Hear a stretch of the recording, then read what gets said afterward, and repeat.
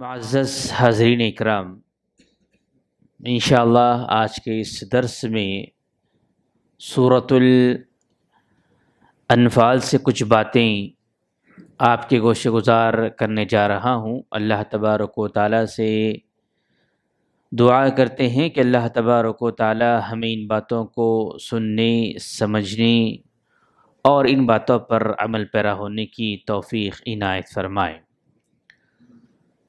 صورت الانفال اللہ کے نبی علیہ الصلاۃ والسلام پر مدینہ میں مقام بدر میں نازل ہوتی ہے، جو پچہتر آیتوں پر یہ صورت مشتمل ہے۔ انفال کا جب معنی اور مفہوم ہم دیکھتے ہیں، تو یہ نفل سے چیز آتی ہے اور اس کے سلسلے میں مال غنیمت کا تصور ہے، جو جنگ کے بعد مال حاصل ہوتا ہے، اس مال کے سلسلے میں، اس صورت میں اس کے طریقہ کار بتایا گیا ہے کہ وہ مال کس طرح استعمال ہوگا یا کیسے اس کی تقسیم ہوگی۔ اور مال غنیمت کے سلسلے میں یہ بات صرف اس امت کی حد تک ہے، اور یہ امت محمدیہ صلی اللہ علیہ وسلم کا اعجاز ہے۔ کہ اس سے پہلے والی امتوں پر جنگ کے بعد حاصل ہونے والے مال کو حرام قرار دیا گیا تھا اور امت محمدیہ صلی اللہ علیہ وسلم کے لیے اس مال کو حلال قرار دیا گیا ہے۔ اسلام کی پہلی جنگ آپ سبھی جانتے ہیں، جنگ بدر، جس کے اندر تعداد کی کمی اور اس کے باوجود اللہ تبارک و تعالیٰ نے انہیں کامیابی عطا کی۔ اور انفال کے سلسلے میں یعنی مال غنیمت کے سلسلے میں اور ایک بات ہمارے سامنے آتی ہے، جس کو عبداللہ ابن جریر رضی اللہ تعالیٰ عنہ کہتے ہیں کہ انفال سے ایک اور مراد یہ ہے کہ جو آپ صلی اللہ علیہ وسلم کے حصے کے علاوہ جو چیز آئی، اس چیز کو بھی مال غنیمت یعنی انفال کہا گیا ہے۔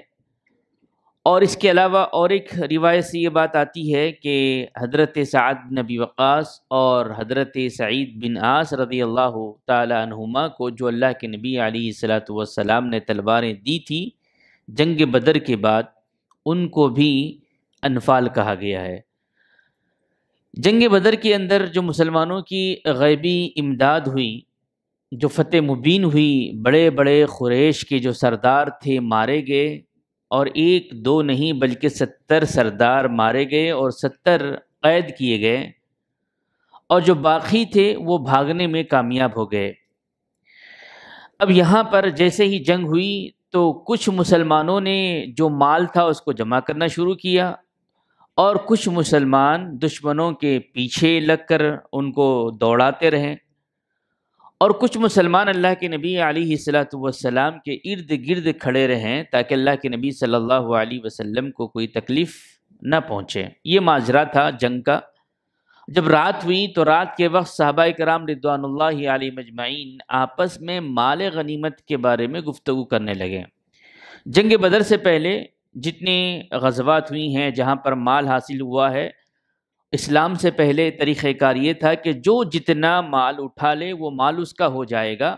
یہ اس چیز سے صحابہ واقف تھے، لیکن اسلام کے اندر، اسلامی تعلیمات کے اندر اس چیز کا انہیں علم نہیں تھا، تو آپس میں ایک دوسرے سے گفتگو کرنے لگے کہ یہ مال غنیمت کے سلسلے میں جو جتنا حاصل کرے گا، کیا اس کا اتنا ہوگا؟ اپنی محنت کے مطابق یا پھر اس کے سلسلے میں کیا ہوگا؟ جیسے آپس میں گفتگو رات میں ہوئی، اللہ تبارک و تعالیٰ نے دوسرے دن اس صورت کو نازل کیا اور اس بات کی وضاحت کی کہ یس کان الانفال، جو لوگ مال غنیمت کے بارے میں سوال کرتے ہیں، تو اللہ تعالیٰ نے فرمایا کہ مال غنیمت اللہ اس کے رسول کے لیے ہے اور اس کا تصرف اللہ اس کے رسول جیسا چاہیں گے، ویسے کریں گے۔ یہاں پر سب سے پہلے یہ بات بتھاڑی گئی ذہنوں میں کہ آج تک جو اصول تھا اہل عرب کا کہ جو جنگ لڑتا، جو مال حاصل کرتا، اس کا ہو جاتا، لیکن یہ جنگ مال کے لیے نہیں لڑی گئی ہے۔ یہ جنگ مال غنیمت کے لیے نہیں لڑی گئی ہے، بلکہ اللہ کے کلمے کو سر بلند کرنے کے لیے لڑی گئی ہے۔ اسلام کو بلند کرنے کے لیے لڑی گئی ہے۔ اور حق کو غالب کروانے کے لیے لڑی گئی ہے۔ تو اصل جو چیز ہے وہ جہاد فی سبیل اللہ ہے۔ اور یہ جو کچھ بھی حاصل ہوا ہے، وہ نفل کے طور پر ہے۔ مال جسی لیے انفال کا جو کہا گیا نفل کے طور پر ہے۔ یہ حقیقت مال کے لیے جنگ نہیں ہے۔ تو یہاں پر اللہ کے نبی صلی اللہ علیہ وسلم نے اس صورت کے اندر تقسیم کرنے کا طریقہ اور بہت ساری باتیں یہاں پر بیان کی ہے۔ اس کے آگے ہم بڑھتے ہیں۔ تو یہ جنگ ہوئی کیوں؟ یہ ہم کو تھوڑا سا سمجھنا ہوگا۔ تو سورہ انفال اور سورہ توبہ کو ہم سمجھ پائیں گے۔ کہ جنگ کیوں ہوئی؟ اس کے وجوہات کیا تھے؟ کیا جنگ کے لیے تیاری کی گئی تھی؟ پلاننگ کی گئی تھی؟ کیا صحابہ اکرام رضوان اللہ علیہ مجمعین تیار تھے؟ اس طرح کا کوئی معاملہ تھا یا جنگ اچانک ہوئی؟ آئیے دیکھتے ہیں۔ اللہ کے نبی صلی اللہ علیہ وسلم کی تیرہ سالہ زندگی کا نچوڑ اگر ہم دیکھیں صحابہ کی زندگیوں کا، مکہ کے اندر اللہ کے نبی صلی اللہ علیہ وسلم کا، تو کفار اور خریش نے آپ کی زندگی کو تنگ کر رکھا۔ اس میں کوئی شک نہیں ہے کہ آپ کو مارا گیا، پیٹا گیا، صحابہ کو تکلیف دی گئی۔ یہاں تک کہ ان کو گھر چھوڑ کر ہجرت کرنے پر مجبور کیا گیا۔ صحابہ کرام رضوان اللہ علی مجمعین نے اللہ کے نبی صلی اللہ علیہ وسلم کے حکم سے، اللہ کے حکم سے حفشہ کی طرف ہجرت کی۔ کچھ صحابہ مکہ کو چھوڑا، اپنی پیدائش وطن کو، اپنے گھر کو، اپنی دولت کو، اپنی جو کچھ بھی تھا، وہاں اللہ کے لیے چھوڑا اور مدینہ چلے گئے۔ اب یہاں پر ایسے مشکین ترین حالات میں انہوں نے زندگی گزاری، اس کے بعد ہوا یہ کہ اہل مکہ کے جانب سے مہاجرین کے مال و دولت کا ایک قافلہ دو سن ہجری کو روانہ ہو رہا تھا ابو سفیان کی قیادت میں۔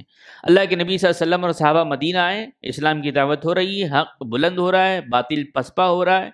اور ایسی حالات میں اللہ کے نبی صلی اللہ علیہ وسلم کے علم میں یہ بات آتی ہے کہ مکہ سے شام کی طرف ایک قافلہ جا رہا ہے اور وہ قافلہ ابو سفیان کی قیادت میں ہے۔ اللہ کے نبی صلی اللہ علیہ وسلم کو جیسے ہی اس بات کا علم ہوا، اللہ کے نبی صلی اللہ علیہ وسلم نے صحابہ کو جمع کیا۔ جمع کر کر اللہ کے نبی صلی اللہ علیہ وسلم نے ایک نہیں، دو مرتبہ مشورہ کیا کہ اب کیا کیا جائے؟ تو پہلی بات یہ آئی کہ ان کا عرض کیا جائے، ان کو پکڑا جائے۔ اور یہ وہ مال جو انہوں نے ہمارا مکہ کے اندر قبضہ کیا تھا۔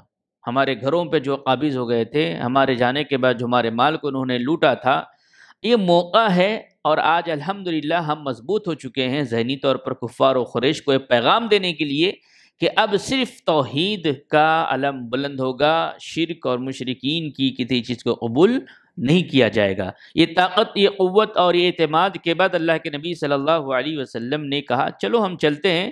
تو بعض روایات سے تین سو صحابہ کی بات آتی ہے۔ اور بعض سے تین سو تیرہ کی بات آتی ہے اور بعض سے تین سو نو کی آتی ہے۔ یعنی تین سو سے لے کر تین سو نو سو، تین سو نو کی تعداد میں صحابہ اکرام رضوان اللہ علیہ مجمعین ابو سفیان کے قافلے کو روکنے کے لیے نکلے۔ مقصد کیا تھا؟ مقصد وہ جو مال ابو سفیان لے کر جا رہا ہے، وہ مال کو حاصل کیا جائے۔ کیونکہ اس مال پر ہمارا حق ہے، کیونکہ انہوں نے ہمارے مال پر قبضہ کیا ہے۔ آپ پہنچے، بدر کی طرف روانہ ہوئے۔ اب جیسے ہی ابو سفیان کو اس بات کا علم ہوا کہ اللہ کے نبی صلی اللہ علیہ وسلم آ رہے ہیں، تو اس نے ایک قاصد کو مکہ کی طرف روانہ کیا، کہا کہ محمد صلی اللہ علیہ وسلم ان کے ساتھی ہمیں ہم پر حملہ کرنے کے لیے آ رہے ہیں۔ تو ایک جو ساتھی تھا، جس کا نام زمام بن عمر آیا، وہ گیا مکہ کی طرف دوڑے دوڑے، کہا کہ محمد صلی اللہ علیہ وسلم کے ساتھی، محمد صلی اللہ علیہ وسلم ہمیں قبضہ کرنے کے لیے، مال لوٹنے کے لیے آ رہے ہیں۔ تو وہاں پر ایک ہزار کی تعداد کا ذکر آتا ہے۔ تو ایک ہزار کی تعداد اللہ کے نبی صلی اللہ علیہ وسلم اور صحابہ سے لڑنے کے لیے ہتھیار کے ساتھ لیس ہو کر، جن کے پاس ہتھیار ہیں، گھوڑے ہیں، سواریاں ہیں، اونٹ ہیں، تیاری کے ساتھ مقام بدر پہ پہنچ جاتے ہیں۔ اب یہاں مسئلہ یہ ہے کہ اللہ کے نبی صلی اللہ علیہ وسلم کوئی تیاری پہ نہیں ہے ذہنی طور پر، کوئی پلاننگ نہیں ہے، کوئی ہتھیار نہیں ہے۔ اور یہاں پر مسئلہ یہ ہے کہ اب دشمن برسر پیکار ہے دیکھیے، اسلام کی خوبی ہے کہ جب تک دشمن سامنے سے حملہ نہ کرے یا دشمن سامنے سے نہ آئے، اس وقت تک اسلام کی تعلیمات یہ ہے کہ صبر اور تحمل کا مادہ اپنانے کا حکم دیتا ہے۔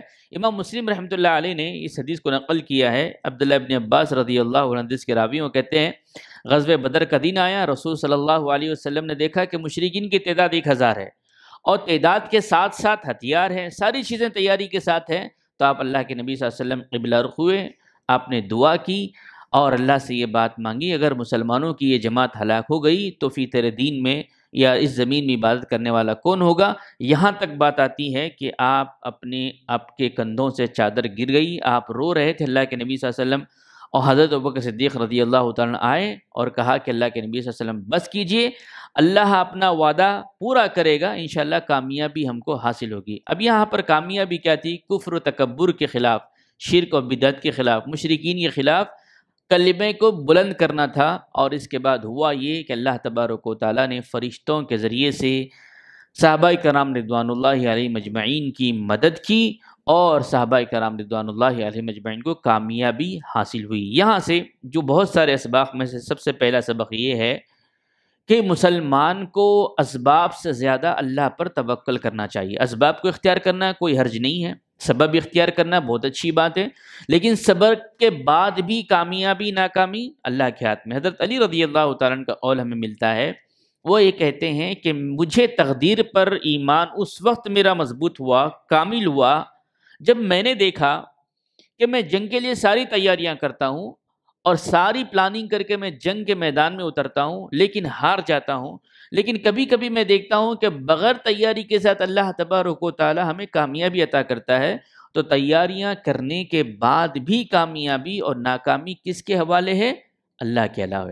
تو ایک مسلمان کو، ایک مسلمان قوم کو چاہیے کہ ہمیشہ اللہ پر توکل کریں۔ جیسے کہ مصع صلاحت وسلم کے واقعی ہم نے دیکھا کہ ایک ایسا ہی سارے ازدہوں پر، سارے سانپوں پر غالب آ گیا اور نبی موسیٰ علیہ صلاۃ والسلام کو اس بات کا علم نہیں تھا۔ تو ایک مومن کی زندگی کے اندر آج ہم یہ سمجھتے ہیں کہ قوت والے نہیں ہیں، طاقت والے نہیں ہیں۔ معاشی معاشی اعتبار سے ہم کمزور ہے قیادت کے اعتبار سے ہم کمزور ہے یہ غلط فہمی ہے، یہ غلط فہمی کو دماغ سے ہٹانا چاہیے۔ اللہ کا وعدہ ہے۔ وَإِن ولا تہین ولا تہدن و ان تم ان کن تم مؤمنین تم غم مت کھاؤ، تم پریشان مت ہو، ایک کام کرو، تم ہی غالب آ کر رہو گے۔ ولا تہین ولا تحدن وانتم الاعلون ان کنتم مؤمنین اگر تم مومن ہو جاؤ، ایمان والے ہو جاؤ، اللہ پر توکل کرنے والے اور اللہ پر بھروسہ کرنے والے، اللہ پر ویسے ایمان لانے والے صحابہ لے کر آئے۔ صحابہ ذہنی طور پہ تیار نہیں، اللہ کے نبی صلی اللہ علیہ وسلم کا حکم آیا اور تیار ہو گئے۔ اب اللہ تبارک و تعالیٰ ہی اس کا فیصلہ کرنے والے اللہ تعالیٰ نے یوم فرقان قرار دیتے ہوئے حق اور باطل کے سامنے ایک کامیابی اللہ تبارک و تعالیٰ نے مسلمانوں کو دی اور قیامت تک کے لیے پیغام دیا گیا ہے کہ مسلمان ہمیشہ صبر کے دامن کو تھامتے ہیں، صبر کرتے ہیں، لیکن جب ان کے ساتھ کوئی ایسا معاملہ ہوتا ہے اور کوئی برسر پیکار آتا ہے تو مسلمان پیچھے نہیں ہٹتے اور خصوصاً ہندوستان کے پس منظر میں جو حکومتیں بچر رہی ہے، آئے دن مسلمانوں کو لے کر کئی طرح کے بل بناتے ہیں، پاس کرتے ہیں، اپنی اپنی حکومتوں میں اپنے چینجز لانے کی کوشش کرتے ہیں۔ مسلمانوں کو پریشان ہونے کی ضرورت نہیں ہے۔ مسلمان بشرط ہے کہ بنیادی طور پر اپنے ایمان کا جائزہ لیں۔ اب دیکھیں نائنٹین نائنٹی ٹو کا واقعہ ہے۔ بابری مسجد شاہ کی شہادت ہوئی۔ کتنے ایسے مساجد تھے، مدارس تھے، مکاتب تھے، علماء دین تھے۔ اور اللہ کے بندے تھے جو دعائیں کر رہے تھے کہ اللہ تعالیٰ تو اس گھر کو بچا لیں لیکن وہاں پر اللہ تبارک و تعالیٰ نے مقدر کیا، دعائیں قبول نہیں ہوئی، تو یہاں پر اہل علم نے یہ نقطہ لکھا، بیان کیا کہ اگر ایمان ہمارے پاس ہوتا ویسا جیسا کہ ابو طالب کے پاس تھا، اللہ کے نبی صلی اللہ علیہ وسلم کے دادا۔ ابراہ کا واقعہ آپ کے علم میں ہے۔ ان کے پاس جو ایمان تھا ابراہ آیا خانے کعبہ کو اٹھانے کے لیے، تو کہا کہ میرے جو تو نے مویشی لیے مجھے واپس کر دے۔ ابراہ نے کہا، میں یہ سمجھتا تھا کہ تو خانے کعبہ کے بارے میں میرے سامنے سوال کرے گا۔ تو کہا، یہ اللہ کا گھر ہے اور اللہ اس کی حفاظت کرے گا۔ میں نے اللہ سے اس کا معاملہ اللہ کے حوالے کر دیا۔ اللہ نے ابراہ کو ناکام کیا۔ علم طرح کے وفال ربو کا بھی اصحاب الفیل کے ذریعے خانہ کعبہ کی حفاظت کی۔ تو آج ہماری مساجد اگر محفوظ نہیں ہے ہمارے مدارس اگر محفوظ نہیں ہے ہمارے اسلامی قلعے محفوظ نہیں ہیں مسلمانوں کی قیادت محفوظ نہیں ہے یا مسلمانوں کی معاشیت محفوظ نہیں ہے، تو اس کی وجہ یہ ہے کہ ہمارے ایمان کی کمزوری ہے۔ اور ایمان کی کمزوری کی وجہ سے یہ ساری چیزیں ہمارے سامنے آتی ہے اور ایک آیت ہم لیتے ہوئے اپنی بات کو ختم کریں گے۔ اللہ تبارک و تعالیٰ نے یہاں پر یہ بات بیان کی، یا ایوہ الذین آمنوا انما المشرکون نجس فلا یقرب مسجد الحرام بعد عام هذا اس کے بعد یہ اعلان ہوا کہ اب بیت الحرام میں یعنی خانہ کعبہ کے اندر کوئی نجیس داخل نہیں ہوگا۔ دیکھیے، ایک وقت تھا کہ خانہ کعبہ سے اللہ کے نبی صلی اللہ علیہ وسلم کو نکالا جا رہا تھا، ایک وقت تھا کہ صحابہ کو نکالا گیا، ابھی ایک وقت ایسا آیا۔ اور اللہ کا وعدہ ہے تلکل ایام نداویلوہا بین الناس۔ کبھی پریشان مت ہو۔ یہ جو اللہ تبارک و تعالیٰ ایام رکھتا ہے، لوگوں کے درمیان یہ بدلتے رہتے ہیں۔ اللہ تعالیٰ کبھی کسی کو بادشاہ بنا دے، کسی کو فقیر، اور کسی کو فقیر، کسی کو بادشاہ۔ بشر تھے کہ ہم صبر والے اور تقوی والے بن جائے۔ تو یہاں پر یہ بات آئی کہ اب اس کے بعد سے کوئی نجس جو ہے خانہ کعبہ کے اندر داخل نہیں ہوگا۔ نجس سے مراد یہاں پر یہ دو طرح کی باتیں آتی۔ ایک آتا ہے ظاہری طور پر گندگی اور ایک آتا ہے باطنی طور پہ گندگی۔ ظاہری طور پہ گندگی سے مراد مسلمان ظاہری طور پر ناپاک ہو سکتا ہے، اس کے کپڑے گندے ہو سکتے ہیں، اس کا بدن گندا ہو سکتا ہے، لیکن اس کا دل جس میں ایمان آ چکا ہے، وہ نجس نہیں ہے۔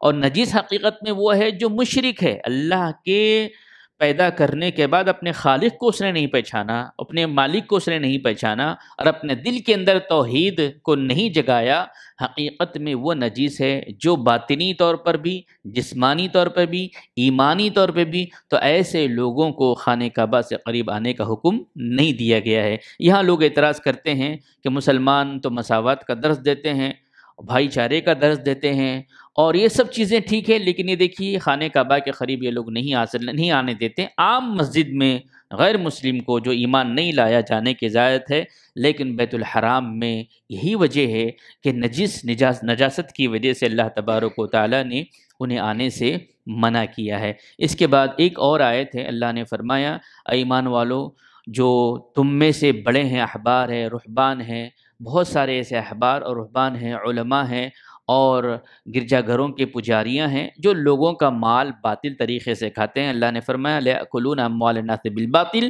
باطل طریقے سے مت کھاؤ۔ علماء کیسے باطل طریقے سے کھا سکتے ہیں؟ سوال یہ ہوتا ہے۔